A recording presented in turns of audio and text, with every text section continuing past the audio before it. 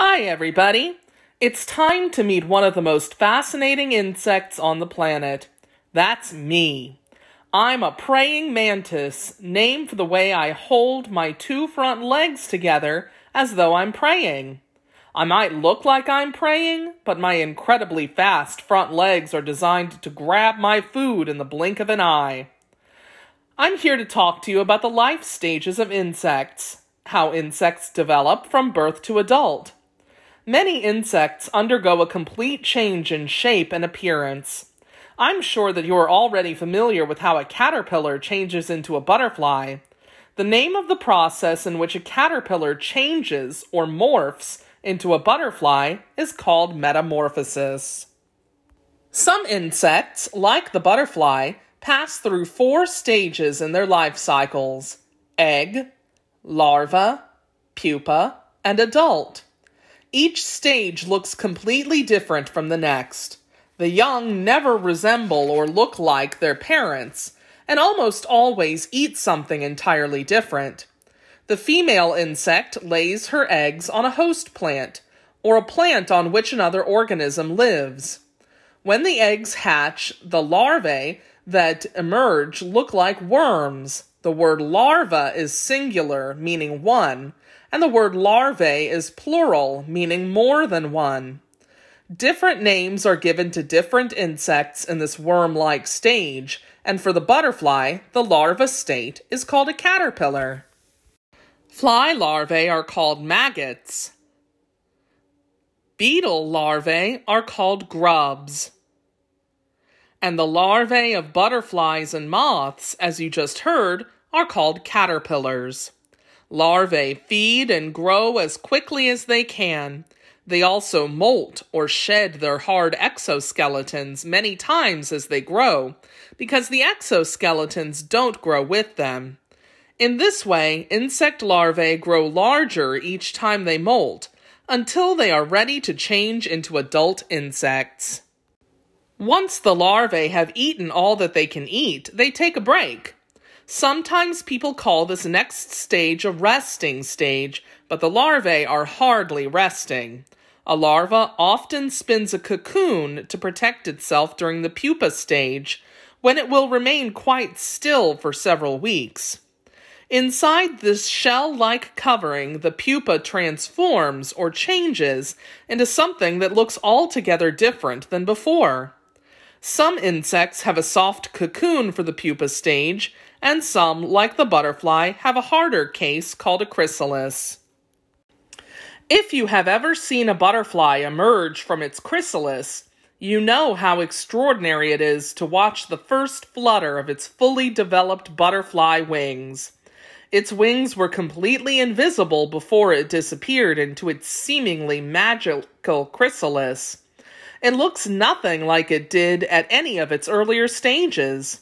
Scientists call this progression through four separate stages, a complete metamorphosis. A progression is a connected series of events. So a complete metamorphosis is a progression of events. I can't argue with that, can you? The change is indeed complete. Butterflies, moths, beetles, and flies all undergo a complete metamorphosis. Not all insects change so completely. Some insects young, like mine, are miniature or very small models of their parents after hatching.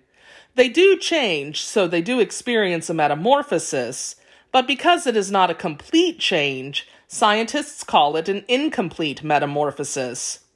Just like you, the young start off as a smaller version of what they will end up being. Just as you started off as a baby person and are slowly growing into an adult person, some young insects slowly grow and change into an adult.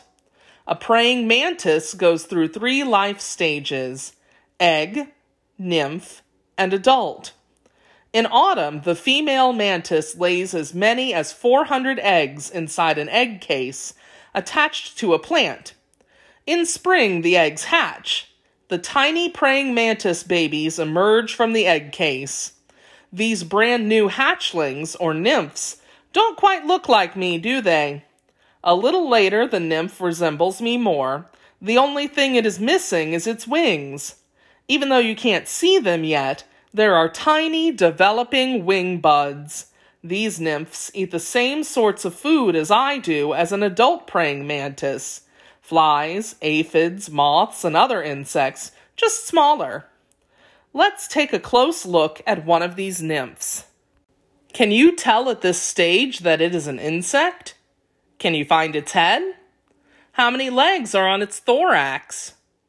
Can you see how many pairs of wings it has? Is there a third section as well? What's that called?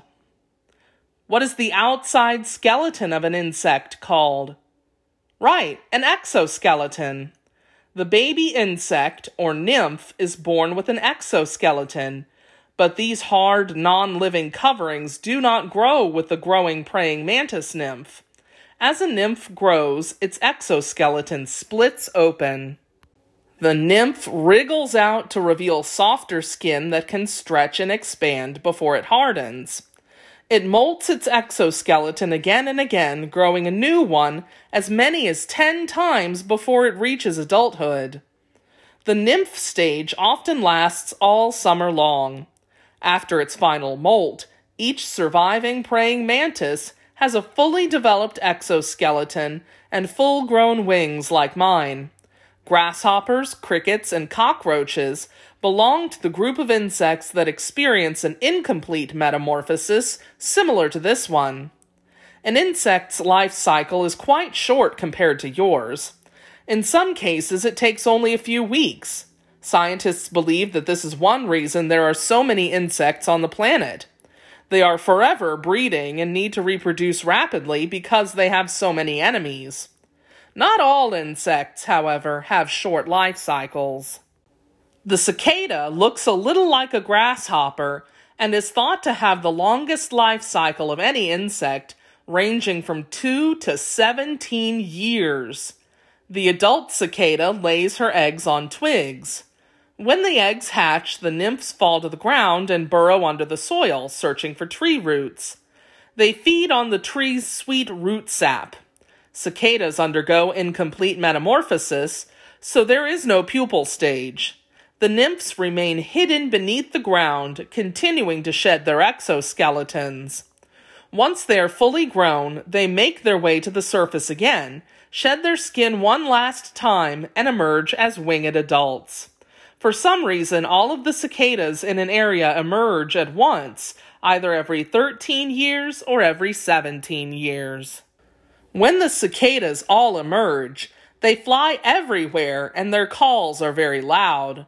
When hundreds of flying insects swarm through the air, their loud buzzing noises and the snapping of their wings make quite a loud sound. Next time, you will meet some other flying insects that may also travel in swarms. Can anyone guess what insects they might be? I'll give you a clue. Bzzz.